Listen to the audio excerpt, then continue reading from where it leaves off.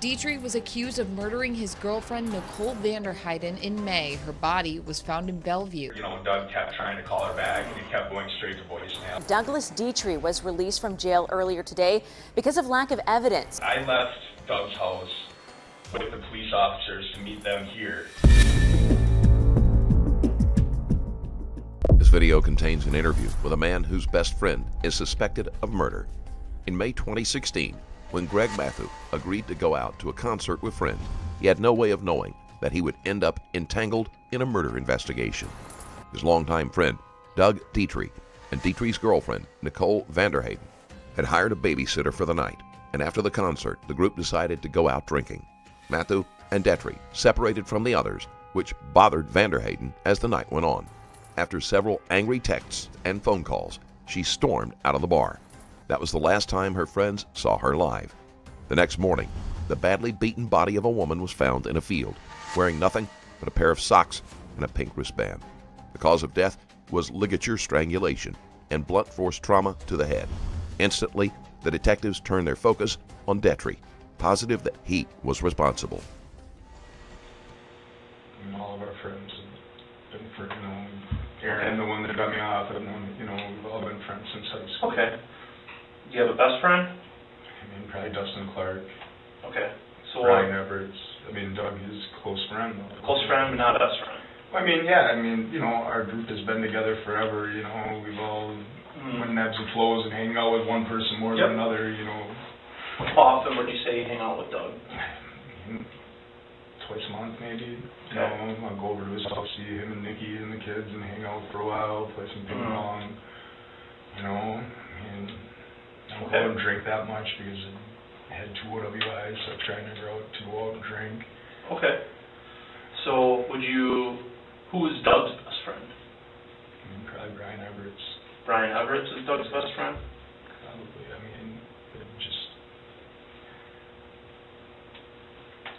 Why would you say that? I don't know, I mean, they just, they hang out a lot, they go golfing, they golf together. So if you had to guess, you'd say Brian Everett's I best friend. Brian's probably his best friend, but Brian's married, lives in Sheboygan, you know, Mhm. so, Who would be his closest best friend in the area? I don't know, me or Dustin. You or Dustin Clark? How often do you talk to him on the phone or text him or Facebook him? I mean, you guys? twice a week, I mean, I don't know, you know, something interesting or something Mhm. funny, you know, I don't know, I mean, I guess I don't text out all that often. It's not a daily thing, No. no, definitely not.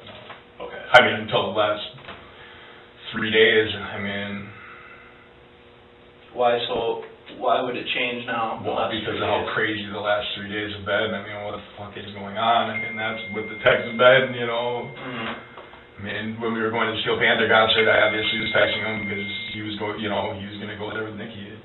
So, uh, you know, I let him know that we were, you know, going to the Steel Panther. Okay. Who all went to Steel Panther? And there was a big group of us, um, Aaron Klinsky, Go um, Aaron Klinsky, Crystal Kane, um, Scott Peterson, Darcy Lipsky, Aaron's fiance, um, Jesse Collar showed up later, Mike Gillespie, Angela Cormier. Um, I mean, our friend Katie Jones, her her husband was opening for Steel Panther. He's the lead singer of Annex, so she was there. I was excited to see her because I hadn't seen her since she got married.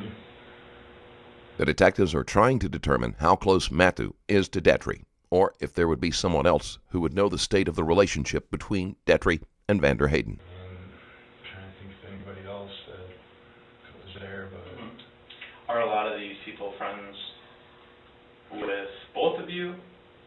I mean, yeah, I mean, it was a group that we were all friends with. We were all drinking buddies. I don't see a lot of those people as often anymore because I don't, you know, very regularly go out to drink Okay. because of the problems of OWIs. Okay. So, run me through the night of Steel Panther. What uh, what's all going down at the watering hole or So- Sandlot or whatever? Man, it's a great time. Everybody's having a lot of fun. You know, we got we all parked in like that back rugby court. You know, the rugby field back there. You know, we didn't know where we were gonna park when we got there, and then, they, you know, they actually had a huge place for us to park, and we were having a great time. I mean, it was fun. I was talking to Katie, catching up with her because I hadn't seen her in a mm-hmm. long time. You know, I mean, was talking to Nikki for a while. You know, just everybody's having a great time. And then, you know, 11 o'clock rolled around, the concert ended, everybody's kind of shuffling around. And I guess they left, and Nikki went with them, which was weird because, she, you know, she doesn't really know those guys that great. Like, she's probably met them two or three times in, you know, this entire time. So I, me and Doug, like, are on our way out, and we see a friend from high school that we haven't seen mm-hmm. for a long time. And we start talking to her and talking to her husband, and like we lose track of time a little bit. And I mean, during this time, I guess Doug's getting you know phone calls from Nikki, and finally I was like, all right, we got to go. You know, like I'm gonna go get my car. I'm gonna I'll drive it up here, and then you know come out. So I mean, it probably was I don't know. 12, 15, 12, 20 that like I got my car, I pulled it up, I told him like, you know, I sent him a text, I said, get the fuck outside, you know, what are you doing? Mm. And he came outside and got in my car and Nikki was calling him, you know, yelling at him, telling him she's leaving because she was at, she's at the sardine can with our friends. Did And you hear this conversation? VanderHeyden was angry that Detrie wasn't with her at the bar, and her anger only increased when he answered someone else's call rather than hers. This video shows a desperate escape attempt by a criminal who had successfully concealed a weapon, which he then turns on police while still under arrest. You can watch it right now, plus many more Patreon exclusive videos for as little as $2 a month at patreon.com slash stranger stories plus. I mean, I could hear him being like, you know, just go back to the sardine can, go back to the sardine can, what are you doing? Go back to the sardine can, like that. And then she must have hung up, and he called her back, and they're arguing again for a while. You know, him trying to tell Were you her. you guys driving that way? At this point, I'm driving, and then so I pulled onto North Platten because I used to live on North Platten with a friend of ours, and I pulled into his driveway just to be off the road. And I'm like, Doug, hand me the phone, let me talk to her. Maybe I can calm her down. Maybe I can get her to tell me where she is so we can go and pick her up. And Do you have a pretty good relationship with Nikki? yeah, I mean, we're friends. I like. Nikki. You know, she's a great mother to my irresponsible friend's child. You know, Mhm. so you know, I mean, yeah. Mean, so I talked to her. I tried to calm her down. I'm like, just let me know where you are. I'll come and pick you up. You know. Why and- do you think you could talk to her over? well, because they're like, she's mad at him, and they're like, are you know, they're going at it. arguing about her like running off into the street. You know. I mean, he wasn't like yelling at her mad. He's yelling at her like, "Don't be stupid. Go back to the sardine can. What the hell are you doing? You know, we're on our way right now. We're on our way. I'm sorry, I did, I wasn't there. You know, that I mean, that was like the gist of the conversation. But I could tell that he just had to keep repeating the same thing. So I knew she did. You know, so I I was like, "Give me the phone." And I pulled it into his driveway and parked. Mhm. And I took the phone and I'm like, Nikki, it's Greg, you know, calm down.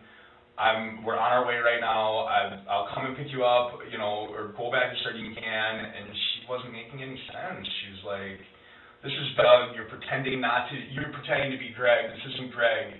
I know this is Doug. And I'm like, Nikki, it is me. And then she either hung up or her phone battery died. I don't know what happened, but then somebody came to the door at that house, and it wasn't, you know, my friend. Like, I guess my friend sold his house. I In haven't, the driveway? the, and the driveway I was, so I was like, well, shit, What you was know. the address on Platten? Uh, twelve fifty-three North Platten is where I parked. It was like, a, a young girl, like, opened the door, Mhm. and then I was like, well, shit, you know, Who had been living there? Josh Andrews. He had gotten married, and we knew when he got married that we were never going to see him again Yeah. because his girlfriend hated us and did, you know, only was being nice to us at that Yeah. time. To I got friends just like I know, and so I mean, we were all joking that night. Everybody's like, "Anybody talk to Josh lately?" And they're like, "Yep, haven't talked to him since the freaking wedding." Yeah. So you didn't even know that he hadn't lived there I didn't know that he sold his house. One of my friends said that he had a for sale sign in front of his house Mhm. but I didn't know that his house was sold, and like, uh, I mean, it looked like a young black girl like opened the door and was looking out, and I was like, oh shit, you know. So then I got back on the road, and you know I cut up and down a couple roads around that way just to see if I would see her. And we thought maybe she went back to the sardine can, so we went back to the sardine can, and we stayed there. I talked to some people. just you and Doug in the car? Me and Doug, yeah. By the time we get back to the sardine can, all of our friends have left. Okay. No one's there. And you know this, um, did you, had been talking to your friends? No, no, when we showed up there and walked around, well, we went to the tiki bar area, and we walked to the tiki bar area. Where did you guys park at when you got there? I parked by the bank. By the BMO Harris, right next door? Yeah, so I mean, like, around that corner, I was parked right there. Okay, so you're there, Yeah. and then you go You walked, in. yep, around it. Which entrance did you and Doug go in? We walked into the tiki bar entrance. Together, Yes. both of you? I mean, I believe, yes, I mean, yeah. I think Closely? he walked right into the bar area, and I was out smoking a cigarette in the tiki bar. Okay, so at this point, you knew that she, Nikki, had, had run away or Yeah. whatever? But she had done this This was the last time any of her friends saw Vander VanderHeyden. previous times Okay. prior to So this. this was not something that was that abnormal? She gets like delusions of grandeur. She's like, I'm tough. I can walk. I can. I'll walk all the way home. I was from Denmark. She Yeah. tried to run away during the Packers Arizona game, and it was like 30 below, and her jacket was in my car, and I was at a friend's house. I was sober, and I was like, I will come and pick you guys up whenever you need me to pick you up. And Doug sends me a text, Nikki's in the back of a cop car, haha, and I'm like, what in the fuck is going on? Like, you know that I'm here. I'm a mile away. I can pick you up. So is this behavior that Nikki does when drunk? drink. I mean, I've only drank sober with her behavior two too? times, you know. Okay. I've only ever drank with her twice. It was that, and then this night. But Doug had said one other night they were out, and she ran off, and she ended up at a friend's house. But you know, then she came back home, you know, that next day. Okay. This seems to be a pattern of behavior for VanderHeyden, and it is most likely the reason why no one was concerned that she did not come home during the night. It would have been reasonable to assume that she went to a friend's house until she had time to cool down. So then run me through what happens next. You guys arrive at the, you park So- at the BMO Harris, you guys go We inside. park there, we go inside, and Doug's mad. You know, he's like, "Oh, she's being stupid. You know, what the fuck?" And he wants to drink, and I, I'm like, I, we get a shot at the bar, like he was harassing like the bartender inside. Mhm. and he didn't have his wallet on him, or he did, you know, he left his wallet in my car. He didn't have any money on him or something, and the bartender's just like, "Give me five bucks, you can have these stupid shots." We took the shots, and then I'm like, paid for 'em? "Yeah." I gave five dollars to the bartender. So I went back and I I started to talk to some of the people out there. And I'm like, "Hey, have you seen, you know, have you seen a blonde girl?" And the first guy's like, "Is her name Nikki?" And I'm like, "Yeah, it is, but." The way Nikki is, I could see her going up to somebody and say like, "Hey, what's your name?" I'm mm-hmm. Nikki, you know.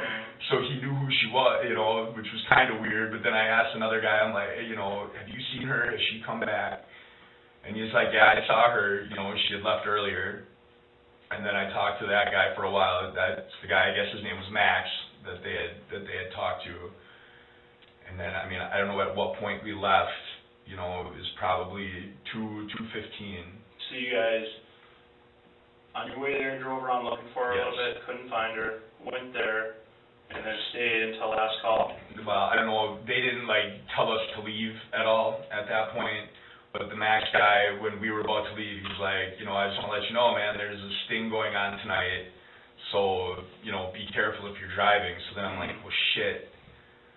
You know, I don't want to be driving all around these streets. I mean, I don't know that I was like over the limit, but I, I you know, I quit drinking at like 10 until I took that shot at at uh at the sardine can. So what's the conversation So- between you and Doug at this point as At far this as? point, you know, I'm like, they're doing a, a DUI thing tonight. You know, I guess there are cops everywhere pulling people over. So I, you know, I'm like, I'll drive up and down a couple streets. So I drove up and down a little bit, you know, and once I saw Gray Street, because I had lived in that area, I knew Gray, Gray Street took you to Atkinson. Mhm. So I got to Gray Street, I took a right, you know, I got to Atkinson, I got on the highway, you know, went over Tower Drive Bridge, Mhm. you know, went straight there, got to Doug's house probably at two forty-five. I went, we went inside, we talked to Dallas, the babysitter, Where did you park at Doug's? in his driveway. In the driveway? Yes. Okay. We went and we talked to Dallas, the Any other babysitter. vehicles there? Her, her vehicle was there, Dallas's. Okay. So we went and talked to her, and she's good friends with Nikki. The babysitter would later testify that Detrie told her, I don't know. She hit her head, and she just wanted to walk home. So she called Nikki, and Doug called Nikki, but Nikki's phone was dead from the time that I last talked to her. You know, Doug kept trying to call her back, and it kept going straight to voicemail. I Straight tried calling her, went straight to voicemail, I mean, on his phone. And so, you know, they did more of the same, just straight to voicemail. I stood around with them for a little while, and I'm like, you know, I'm gonna, I'm Where were you guys home. at in the house when this was going on? In the kitchen. Okay. Well, me and him were in the kitchen, and she was like sitting on the couch. You you know, she was sleeping, but you know, by the time we got there, so Where was the baby? I don't, I don't know if the baby was in like the little carrier. Mm-hmm. I, I'm assuming that's where the baby was. I, you know, it was dark in there. She had the lights off because she was sleeping, you know, and then they had Okay. like, had, like the dim lights on in the in the kitchen area. And he, you know, continued to keep calling, and you know, I said, all right, I'm gonna, I'm gonna head out. So I left. Dallas was still there when I left. I drove straight home. I got to my house. I went. I brushed my teeth. I mean, I, I remember. Which way did you drive home? I took Monroe all the way to, you know, right past the sheriff's office to the mm-hmm. highway. I jumped on the highway. I got off at JJ.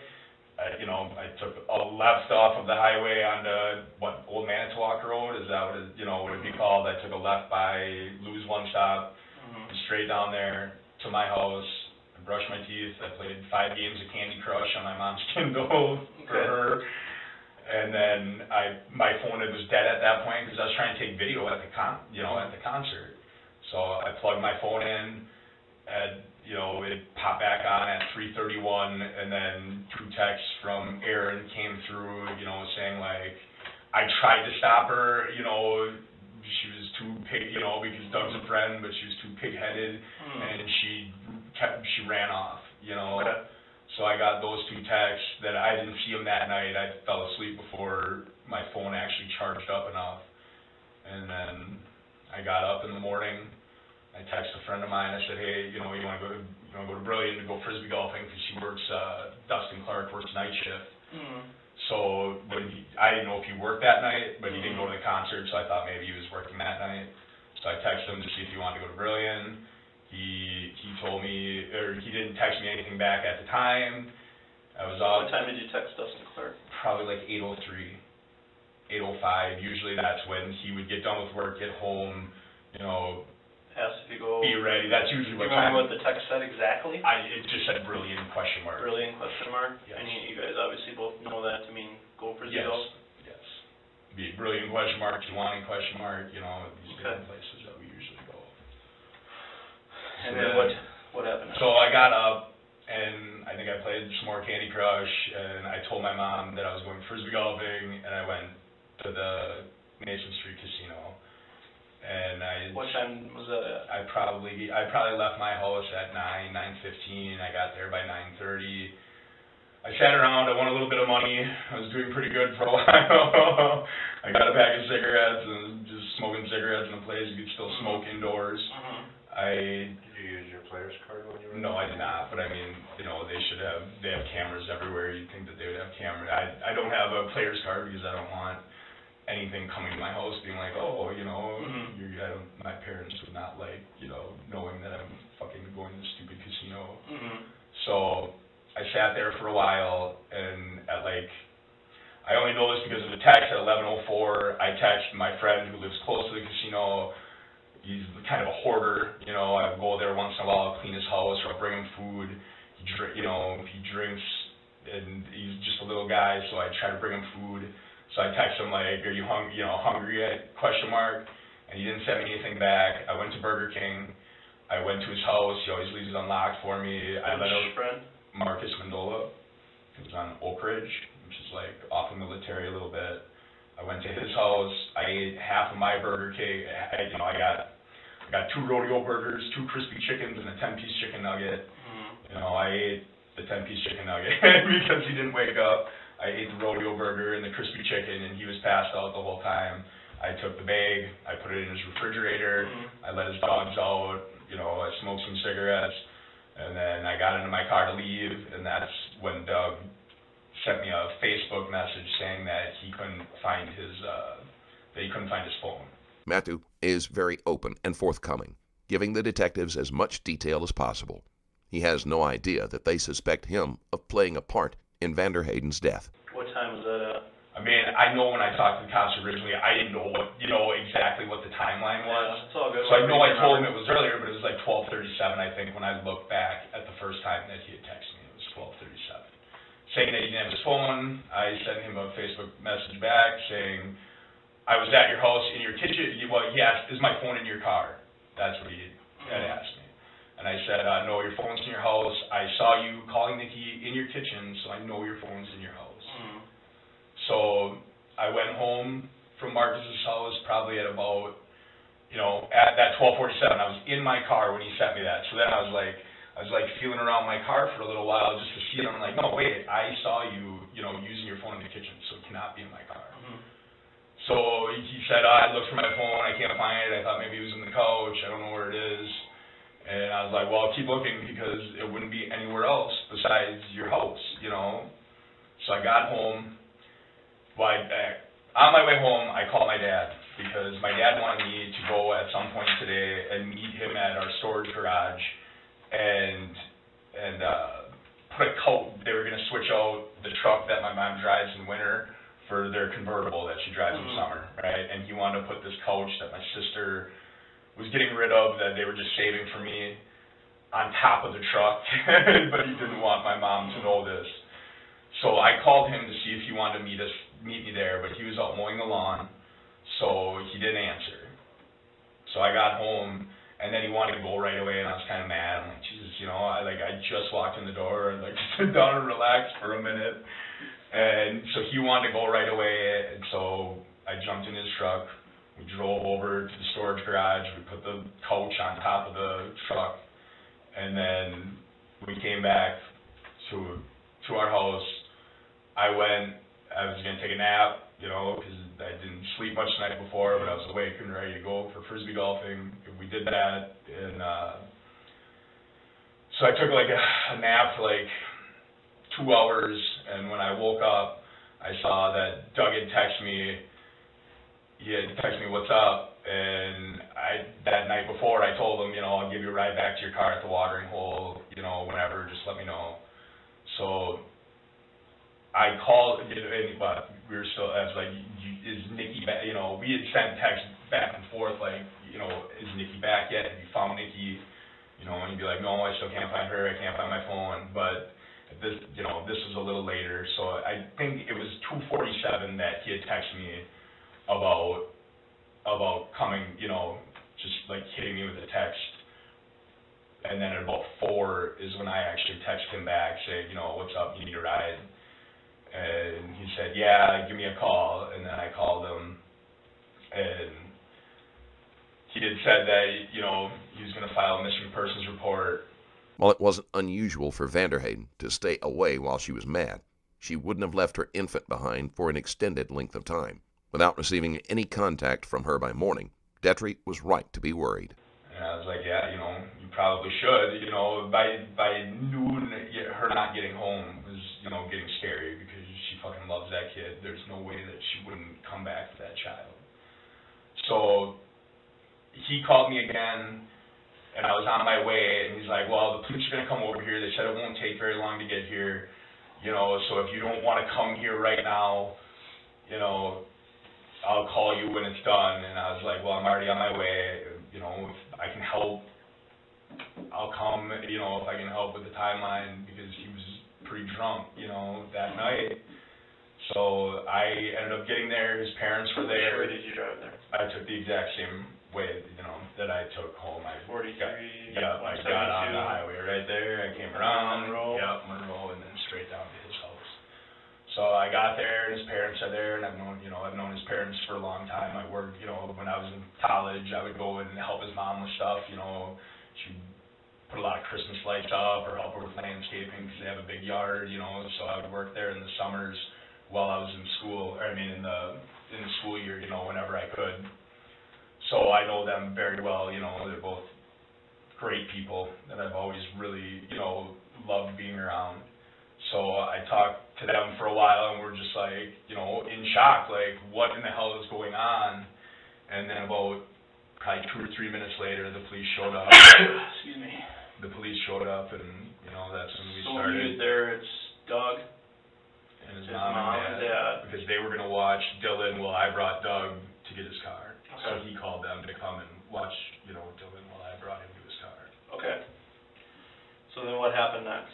I mean, then the investigators came and, you know, we tried to, well, Doug was telling like the timeline of that night, and I knew his timeline was off, but I'm like, you know, I don't wanna just keep interrupting and be like, well, no, this is what happened, this is what happened, so then when What was off about his timeline? Well, like, he thought we were only at the watering hole for like ten or fifteen minutes before we left to go and meet them, and I knew it was more like thirty or forty-five minutes probably, you know, before we went, but I didn't wanna just keep like interrupting them and change, you know? So we were looking, you know, at the time, uh, we thought that we were looking for her yet and trying to, you know, and realized at that point that two hours earlier that they had found a body, you know. So I thought we were really trying to help actually find her and give the best possible way to find her, so, found a body? well, they found it at two PM, right? I mean, I, okay, so when the police came, two more officers came, and they're like, you wanna follow us down and just give us your, Police were aware of a body of a female that had been found before they received Detrie's call. The body was in such bad condition at that time, no ID could be made. you know, events. I'm like, of course, you know, I think my timeline is more accurate than Doug's. She was hammered. You know, he might not know the time, the different times as well as I did, I felt, you know. So when I got here, one of my friends had texted me and said like, you know, what's going on? And I'm like, well, I'm in the police station right now, you know, being questioned. And, you know, it's crazy. And he sent me a text back like, well, they found a body at 2 p.m. today. And then When did you at first hear about at 10 someone o'clock. finding a body? 9:47, I think. Right, bef- it was about a minute before they took my phone to, you know, run through my phone, and then, I that was real and scary that I wasn't here just trying to help out. Not understanding, I must, What do you mean? so you drive, This is at, this is at 10, like 10 o'clock at night when I've been talking to the office. I, Okay. I left Doug's house with the police officers to meet them here. mhm, to give, you know, my events at probably, I mean, seven o'clock, maybe six thirty. And then I, you know, I was sitting here with them from that, you know, that They time. But then at, you know, they were asking me to consent to giving them my cell phone. I'm like, yes, you can look at all the stuff. That, do you think that's gonna help? And then that buddy of mine sent me that text, and I'm like, well, what the fuck, you know? what buddy, Uh, Dustin had sent me a text. so Dustin, what's Dustin's last name, Clark, Yes. sends you a text at what time? like nine forty seven. It was about a minute like they took my phone from me like the next minute. Like I already signed my consent form to Mhm. for them to search my phone. So that, as you turned your phone over and signed the consent form, just a minute prior to that is the first, Like a minute. I mean he wrote down the time that he took my phone. I would Mhm. bet if you look at that text, which they should have, you know, that they should Mhm. have that text, that it was like one minute later after you know that he had told me that and then why would, why would a body be Nikki though? I, because she would never leave her kid. She would come home to breastfeed that kid. She was so big on taking care of that child. I mean, by four o'clock, we were terrified. Whenever anyone goes missing, their natural reaction upon hearing that a body is found is to worry that it might be their loved one. This holds especially true when little to no physical description is given. So, you don't find out, you find out. I found out at ten o'clock, and then a friend of mine, that Katie, that was at the concert, the next morning told me that a friend of hers at a at a cookout had said that the person that they found had a had a Steel Panther bracelet on her hand. I mean, it's the most unbelievable, unbelievable thing you can ever fucking imagine. So, as we sit here today, you believe that that body is Nikki then? I mean, when I heard that there was a Steel Panther concert bracelet on her arm, and we have a friend that's missing that would never ever abandon her child for any reason. I mean, she's the greatest mom you could ever imagine. When I heard that How did you hear that she had a Steel Panther bracelet on her arm? from Katie Jones, Katie Jones? yes, and I believe I believe Doug may have mentioned that too. And Katie Jones mentioned that to Doug? No, she mentioned that to me when I was about to come back here to pick up my car the next day. So Katie Jones mentions that to you when you, what day was this and at what time? This is when I was here to pick up my car the next day. So this is now Sunday, Yeah, Sunday at probably eleven. eleven in the morning? Yes. So you're coming here to pick up your Buick, Yeah. and that's when you hear that there's a steel Panther Panther bracelet bracelet found on a girl. on the girl? And you heard that from Katie Jones? Yes. And Katie Jones heard it from, A police officer that was at the scene, I guess. You, you said Katie Jones or Doug or and Doug? I mean, I had talked to Doug at like ten twenty. He had called just saying like how insane this is. At, ten you know, twenty, in the morning before I came, like right when I wo- I woke up to my phone ringing. I mean, ten, we're not that I talking about slept well in the first place. In the morning, the next yeah on Sunday. Saturday Sunday. morning or no, Sunday this morning? Sunday morning. So Sunday morning at ten twenty, He had made. I I bel- I mean, you know, it's so crazy what is happening right now. I'm not. what about Saturday? How many times did you talk to Doug Saturday? On the phone, I didn't talk to him at all There was no phone There was conversation between you or him? until I was on my way to his house, yes, to pick him up to get his car. That's the only time that there was any conversation, and it was How long him- was that conversation, I you think? mean, a minute. And you what know, was it, what happened in that conversation? That conversation was him, you know, saying that he's gonna file a missing persons report. You know, if I wanna come by now, I can. If, you know, you wanna wait until after the missing persons report is done, you can come then. And I mm-hmm. said, I'm already on my way. I'll, I, you know, I'll come now. Maybe I can help. Okay. What about the original Facebook message when he was looking for his phone? What's that? You were talking about a Facebook message. Yeah, the first one I got was at twelve thirty-seven. I sent him a message back saying, you know, it's not my car, I know it's in your house, I saw it, and, you know, I saw you calling in the kitchen. He sent me a message back, still can't find my phone, still can't find Nikki, like, what the fuck, something like that, you know, and then I sent him, I think I sent him another message back saying, you know, your phone is in your house somewhere, you know, you gotta find it. And then I think the next message I got was from his cell phone saying, "Found my phone. What's up?" You know, at like 2:47, and then that's the one at like four I responded to Hmm. saying, "You need a ride to your car." Okay. What was Nikki wearing that night? I mean, the only reason, like, I, I mean, I know she was wearing dark clothes, but the only reason I know was because I was standing in the room with Doug when he told them what she was wearing. You know, it made, it, yeah, when he said it, I was like, yeah, it might have been like a silver and black striped, like, not low cut, you know, it wasn't like a cleavage shirt, but like Mhm. kind of low hanging shirt, and he said she was wearing black capris, and I mean, I guess, I, you know, she had black pants on, and know. Remember what kind of shoes she was wearing? know, I- they keep asking about the shoes, but I mean, I know what he said she was wearing for shoes, you know, that they were like silver medium heels. But I mean, I never looked down at her feet and thought, you know, oh, those are cool shoes, you know? Right, right. Right. So, what, can you describe anything specific about her, like what she looked like, her hairstyles? I think it was just kind of like, kind of just straight wavy maybe, I mean, You know what kind of phone she has? Purse she had? No, I mean, I know my friends had said that she did have a purse, but I didn't remember ever seeing her. I mean, we're at a concert, why would you want to have a purse on your arm when you're like jumping around and, you know, dancing or whatever, you know? Mm. So I don't remember ever seeing her purse, but What kind of phone do you have? an iPhone 4, An iPhone 4. Do you, is it you, under your name? yes. So you have Through a, Sprint. through Sprint? I mean, if you want to get any of the telephone, you know, conversations, I'd be more than willing to, you know, if Sprint can do that, I'd be more than willing to allow you to, you know, go through any of those conversations. Okay. What, uh,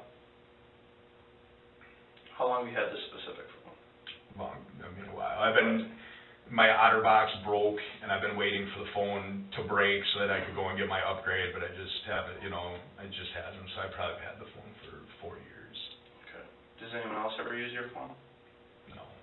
Has anyone ever used your phone? I mean, not that I know of, I have a lock on the phone, you know. Mm-hmm. What but, about you know, Friday night into Saturday? Was it in your pocket or in your hand? I mean, it died nights? on Friday night at some point. I don't know at what exact point in the night that mm-hmm. my phone died, but yeah, there'd be no reason that anybody would have my phone.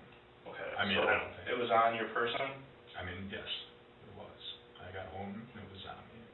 Okay. I plugged What's it the in, code for your phone? 0816. The detectives are focusing pretty hard on Mathu, even though they have no evidence against him. Only his relationship with Detrie has drawn their attention, as well as the fact that he came forward with information. What was the last text or call or thing you did on your phone? I mean, I, I don't even, that night, I Mhm. mean, I'm not sure. I'm not sure, I mean, the last thing I might have saw on my phone was Aaron had texted me from Darcy's phone because his phone died too. Around what time? I mean, I'm not a hundred percent sure, before we left the watering hole. Before you left the watering hole? Yeah, because she had texted, this is Darcy's phone, you know, he texted, this is Darcy's phone, we're, s- we're at the sardine can, you know, where you Yep. guys at? You have a car charger? No, I don't, You have no car charger? no, I do not. So you had no way to charge it in your, No, I first was able to charge it when I got home that night and plugged it in. so you're saying after leaving the, or before leaving the watering hole, that's when you were still using your phone, you never used your phone after leaving the watering hole? I'm not a hundred percent sure. I think I texted Crystal where they were at. I might have texted when I got to the sardine can. I might have texted Crystal, where did you guys go? Mhm. And that she sent me a text back saying, I don't even know what bar it was. But I may, I, I might have used it at the sardine can, but at some point, you know, around that time, it did die. Okay. You know, since my partner Zach and I have never met you, uh, it's difficult for us to judge where somebody's telling us the truth or a lie, right? So, uh, there's no secrets here, I'll let you in on some of our secrets. A lot of times, what we'll do is we'll ask questions that we already have answers to. Yeah. We're, we're trying to determine if you're, if you're really truly trying to, to help us, or if, or, if- or if there's something amiss, you know? And just because something's amiss doesn't mean you did anything wrong, you know what I mean? It means, it could mean that you may be scared or something else, or, or whatever. For example, you may be, you may be trying to cover up one thing that we don't care about, for example, like say drunk driving or something, when we're really interested in, in knowing something else, all right? So having said that, you know, when you tell the truth, you don't have to have a good memory, right? You don't have to memorize stuff if it's, you're just recalling things. So let's, let's try this. Let's try, we talked about Friday, we talked about Saturday.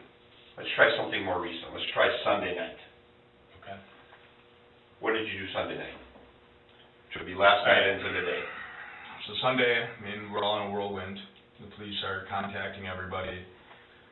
I went over to my friend Marcus's house again, and I was sitting there, and he was at playing beanbags at Badger Badger State. And I called him, and he didn't call. He didn't respond. I was sitting there with his, you know, with his dogs. I let his dogs out in the backyard, and I was smoking a cigarette. He called me back, and I was just like, you know, you would not believe the ins- insane last 36 hours of my life. You know, like what the fuck is happening? And he asked me, you know, you you need me to come there, and I said, yeah, you know, we come here. And so I was, we were sitting there and we were talking just about how crazy all this stuff was. Even though the detectives have implied that they believe he is lying, Mathu still doesn't realize that he should ask for legal representation. He knows he is being honest and thinks this will be enough to keep him out of jail. And then I got a text from uh, Aaron Kalinsky just letting me know that they were at Crystal's and that, you know, be good to be around people right now and not, you know, losing our minds. And so I sat at Marcus's for a while. And then at that point, I, I, you know, I said, you know, maybe I should just go to Crystal Mike's and see those guys. So I went over to Crystal Mike's And I stayed there for a while, and we talked and just, you know, talked about how crazy all this stuff is. And then from there, I went back to my parents' house and talked to them, just make sure that they knew I was all right, you know, because of all this stuff that's going on. And so I talked to them for a while. And then I went back over to Mike and Crystal's. I got a pack of cigarettes, and I got a pack of cigarettes for Crystal.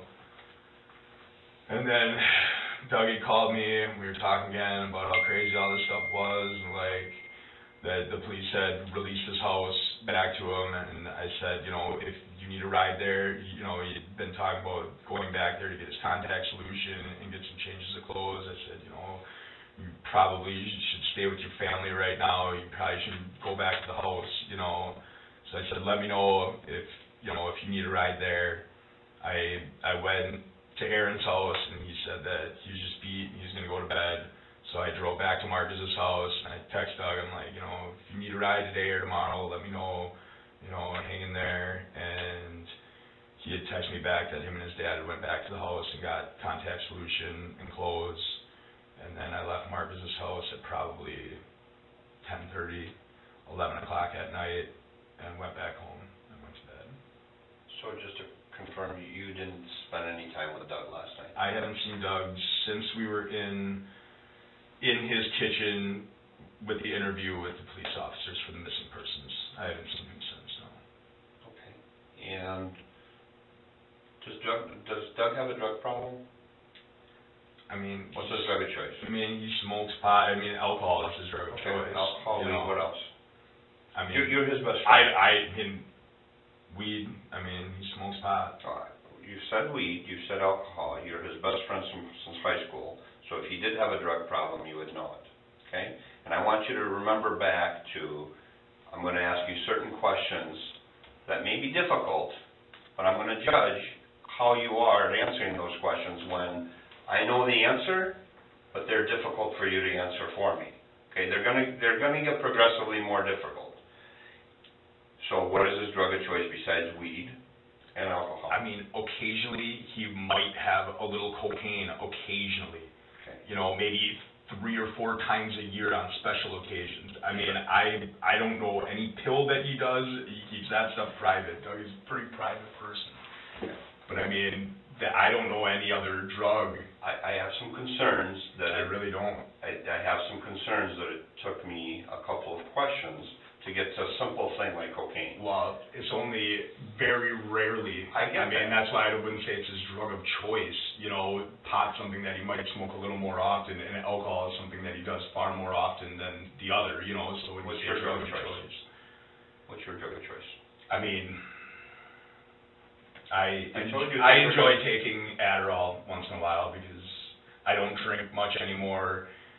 I like to listen to science and technology podcasts, and it makes, you know, me pull that information more. That, I mean, that's it, honest. Do you have a prescription for Adderall? I do not. When's the last time you and Doug snorted Adderall together? That night before we were gonna drive to go, to What leave the watering hole. When we were about to leave the watering hole and I was gonna drive. He has a prescription for Adderall, and we, we Okay, so that was at the house, at the watering hole? At the watering hole, in the parking lot at the. Okay. Mathu has admitted that he and Detrie took pills that night. The detectives have already suspected this and are becoming increasingly sure that they have the guilty parties in sight. So I just asked you about Doug, and you mentioned alcohol, marijuana, cocaine on occasion, and then you specifically said about pills, whatever he does, you don't know. Well, no, but that's it, he's got a prescription for Adderall, so for Adderall, he's got a prescription to take it, so that wouldn't be He's got a one. prescription to snort it? I mean, that, that's, that's abusing it, right? Here's, here's the thing, Greg. There's a lot of things going on right now. What do you know? Tell me what you know. I mean, I know that the police were at his house, that they. How do you know that? It's on the news, we were watching the news in total disbelief that this thing was So, happening. so we're, why would you wanna do anything but tell us the whole truth? Because if you're here and you wanna cooperate with this investigation, and you wanna assist and be a good witness, and not get jammed up on all this, I mean, why I are can tell you the we, truth. why I would you told not him, tell us you the know, truth about everything? Well, you Just lay it all on the table. You skipped Adderall. I mean, you, Well, you you and a maybe, prescription, you know, I Well, mean, you- is that a thing? you don't have a prescription to I snort know, it. I do You not. gave us very distinct and, and detailed, um, information down to the minute. I mean, that's. Well, a lot of it is in the text, I get it. Yeah, I don't know. Well, But, but it does matter. When we say every Everything detail matters, when you pull into somebody's driveway and you give this officer the actual address and you specifically detail how a black female went out of the door and then you realize that your friend lived there by such and such a name, he no longer lives there, then you proceeded on, then this, this detective is asking you specifically what street you're driving on, do you not think, then you're telling me that, well, you know, I was in a much clearer state of mind uh, to provide detailed information on how long we were there as opposed to Doug because he was intoxicated. Well, if we're talking about state of mind, do we not want to know about any drug use? I mean, you told us about alcohol, you told us last time you had something to drink is at ten PM, then you had a shot over at the, at the, uh, uh, uh, sardine can, but you didn't drink before that, so that kind of gives us a, a gauge of your level of intoxication, but why would you explicitly, uh, not mention illegal drug use? I had nothing to do with this. I, I didn't say that. I'm saying to you that I have some concerns. We're tearing apart, you know, my private life, yes, I mean, I. That's what we have to do. I told you, I enjoy. Somebody's life has ended, right? Somebody's out, life has ended, so it's a, mi- the minimum we can do. It's a minimum we can do on her behalf, is ask you private questions. And I'm gonna tell you that your timeline seems so abundantly rehearsed, and, and, and you know the reason why I know that? Is because it's nowhere near what you told the officers the first time, and the second time. It's just not. For example, I'll give you an example. When did you go see your friend? Before or after you went to the casino? I went after. Well, you told the officers you I went know. before. I know. I hadn't slept in like 50 hours. They woke me up. You know, I just woke up and they're asking me questions. So when I was thinking about that, I was a little hazy about what at what point I stopped at Marcus's house. I told him that he wasn't there either. And then I looked into my text and then I remembered, oh shit, yeah, he was sleeping on the couch. I brought in that Burger King. You know, they just woke me up. So let me from tell you this. One of the craziest moments of my entire life. This detective and I combined have approximately 30 years of doing this job. And we can tell the difference between somebody not recalling something. I am telling you the absolute truth. Greg, you're, You're interrupting Yeah. me. just listen to what he's saying for a second. You're interrupting me. I didn't say you were lying. I said I can tell the truth when somebody can't recall something or when somebody's providing fabricated information. I haven't even identified which one you're doing, and you're already sitting there telling me you're denying that that's what you're doing. You see what I'm saying? I can understand not knowing what you did one, two, three days ago, especially when you have alcohol and maybe some other controlled substances in your system. I get that. I understand that. I couldn't tell you what I had for dinner three nights ago, okay? But that's not the story that we're getting from you right now. The story we're getting from you right now is extremely clear and concise, down to the minute, covering a period of 72 hours. It's, it's unheard of. I would actually expect you to remember less than what you remember. All of these events have been going through my head over and over and over for the last 72 hours on a nonstop loop of everything that happened. I mean, that's why I remember all these things, because I am in, you know, this last Greg, let me tell you, 72 hours have here's what's not gonna change. As the detectives press harder, Mathu becomes more tense and defensive, unhappy that his personal life is being scrutinized when he knows that he had nothing to do with VanderHeyden's death. One hundred percent. All the forensic data in this case, all of the cellular phone data, all of the tracking of devices, all of the surveillance footage of every business and every street, all of the communication before and after all this happened. Do you think it's an accident that certain, certain things were done in a certain way in this investigation? no. So what we're doing sitting back and we're not guessing.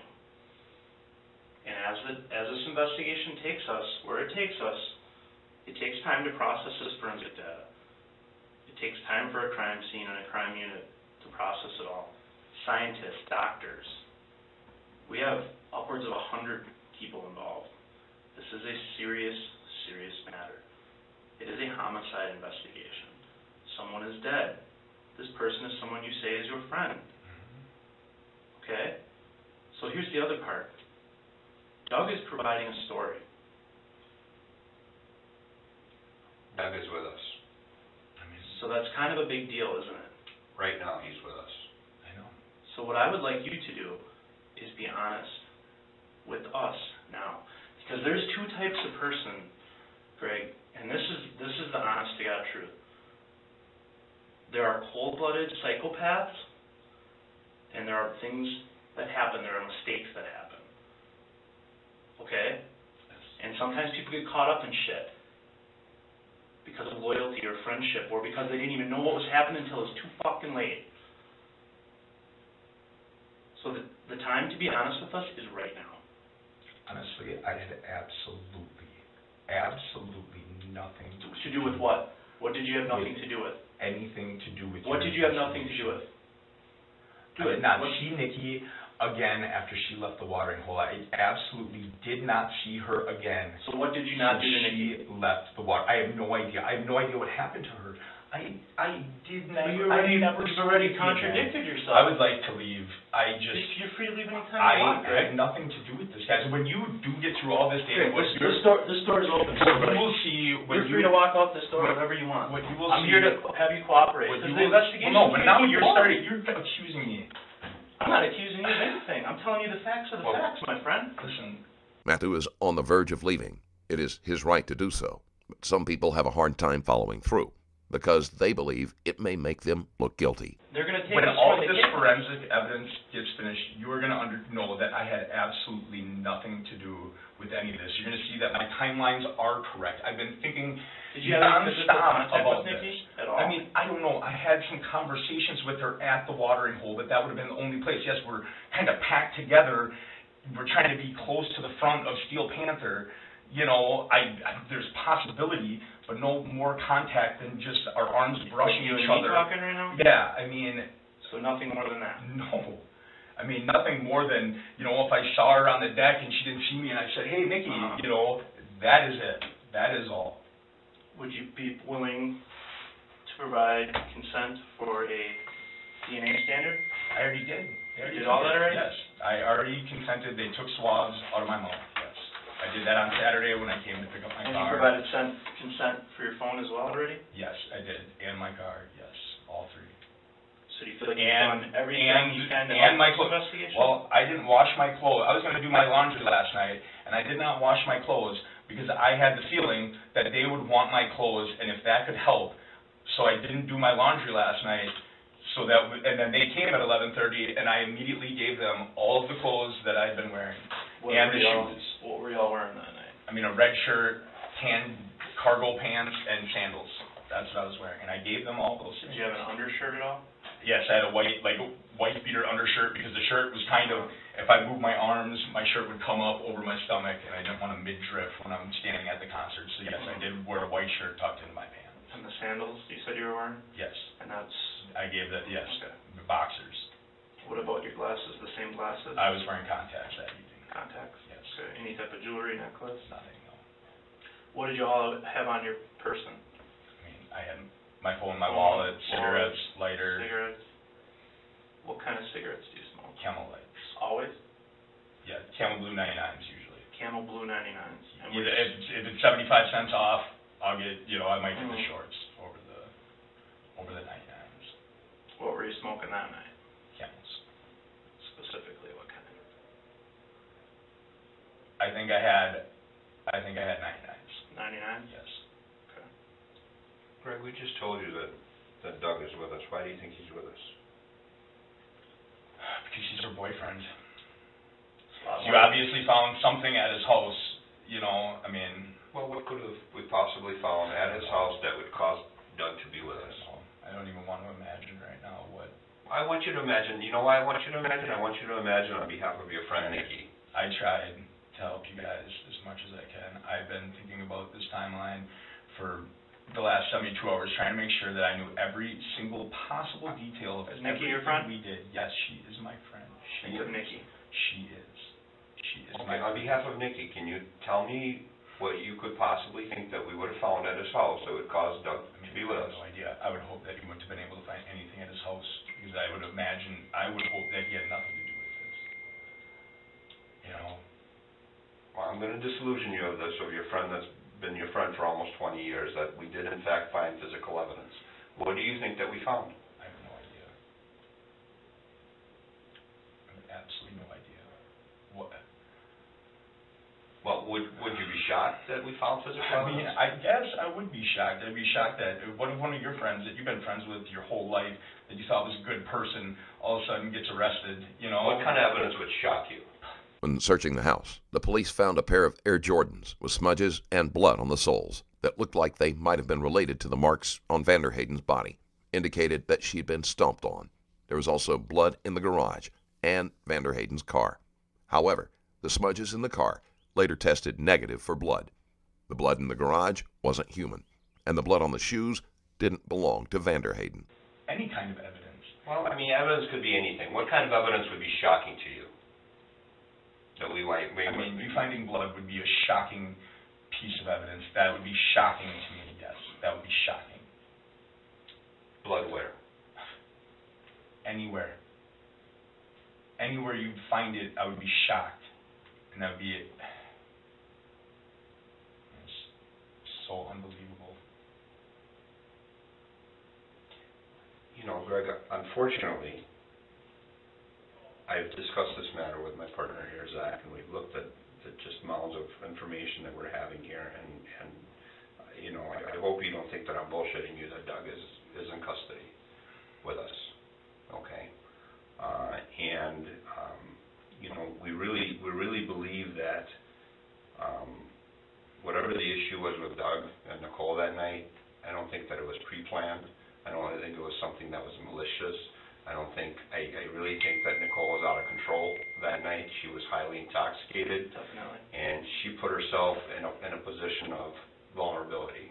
You know, she was, she was acting the fool. I mean, no doubt about it, I just okay? can't imagine him hurting her. I just can't. And, and what I'm gonna tell you is, is, is I really don't think that, not only do I not think that Doug, um, wanted this to occur, but I especially don't think that you wanted this to occur. I mean, that's, that's just the bottom line. And I think, just based on your proximity to Doug, based on your proximity to Nicole, and based on your proximity to, to the people involved, you just got to be in a bad spot.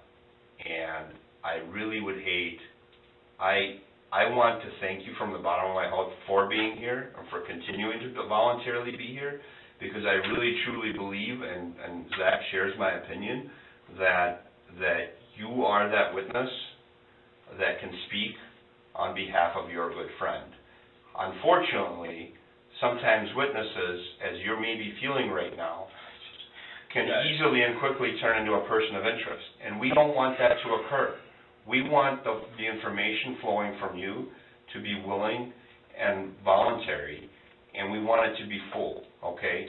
Eat no matter how hard it may be. You see what I'm saying? Because I'm gonna tell you that there's no doubt in anybody's mind that the evidence shows that your friend Doug had involvement in her murder. There's no doubt about it, okay? But what I'm telling you is, you don't wanna get yourself in a position where you go from a person that, that can assist by, by giving some, some, some peace to the family to somebody that's a person of interest. You don't wanna, you don't wanna jump that line.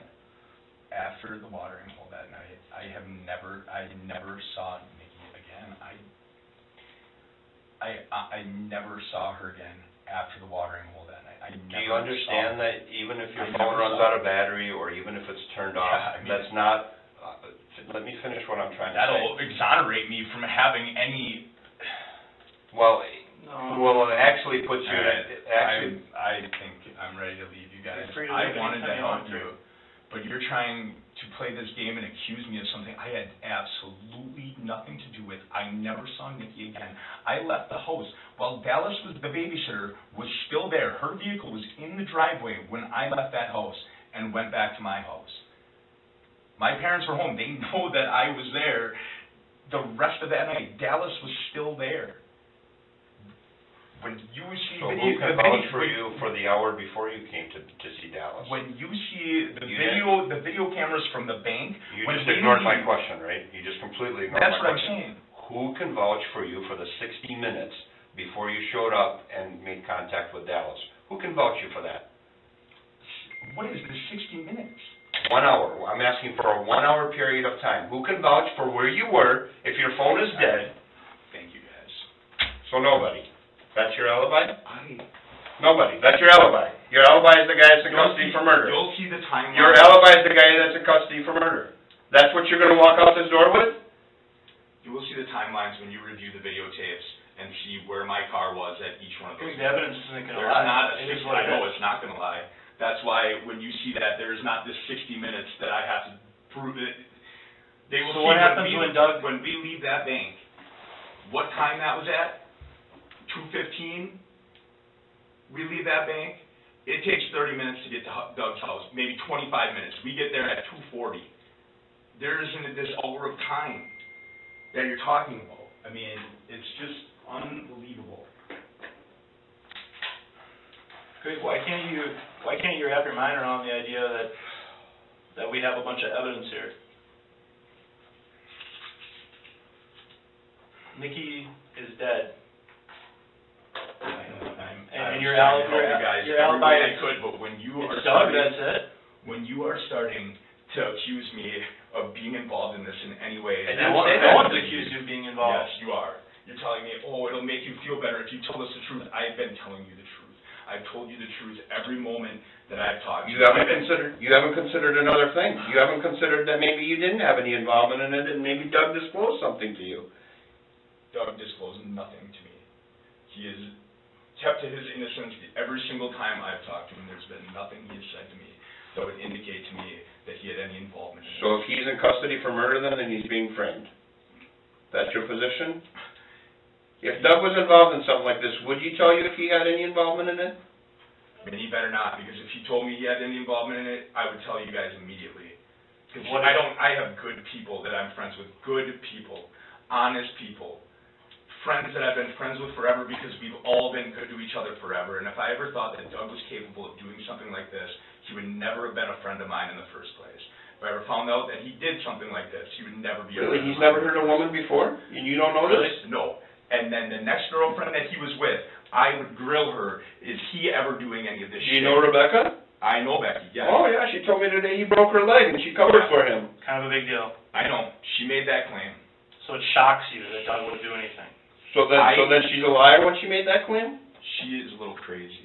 She is. And when she, and when When she I talked to claimed, Danielle, Danielle told me, you know, that Doug never physically abused her. I, that, I talked He to her. broke her about leg. that. Danielle, this is not Rebecca. yeah, This is his Rebecca, Ex-girlfriend. who, who, Well, what- who how broke big- Rebecca's leg? She fell down the stairs, supposedly. I know. And you buy that? I know. You buy that, that his ex-girlfriend fell down the stairs and I got a would like to leg? think that he would not have been capable of doing something that stupid. Well, yeah, but what does your, what does your uh, cognitive mind tell you? What is, what does common sense tell you? Becky was crazy. I did know Okay, so Becky. Rebecca was crazy that, so when she When he tried to break up with her, his family has money, so when he tried to break up with her, she tried to go after him thinking she could get something out of the family. That's what she did. That's when she, that's when she filled out those reports. Tell me this, why didn't the police arrest Doug for that? Because she filed the police report, and they decided that she was not, Is that what That's Doug not told what you? happened. I mean, that's what I thought happened. That's, yes. I mean, is that what Doug told you? That is what he told me. Would you be surprised if he didn't tell you the truth? I mean, would that surprise you? No, it wouldn't. So it would not surprise you It if wouldn't Doug surprise deceived me you? if he kept it private and lied to me about that. Even as he is going out the door, the detectives try to get him to say something incriminating about Detrie, but they are grasping at straws. So don't let your friend paint you into a corner here. When you get all of the information, you will see that I had nothing. Or getting information from Doug. And when, and, Well, and he it knows I had nothing to do with the two. doesn't mean he has to say that. All right, guys, I tried.